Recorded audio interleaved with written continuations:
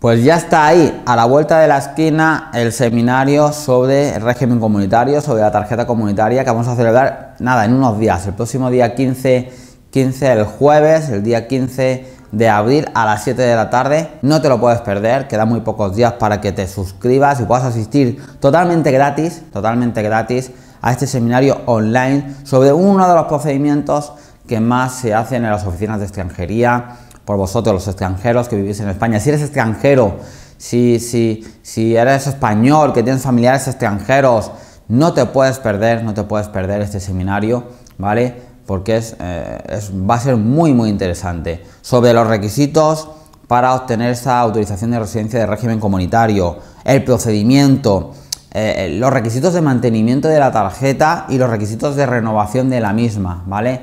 Es muy importante que si eres familiar, extranjero familiar de un ciudadano español o español que tienes familiares a los que quieras reagrupar, pues asistas a nuestro seminario online y gratuito el próximo día 15.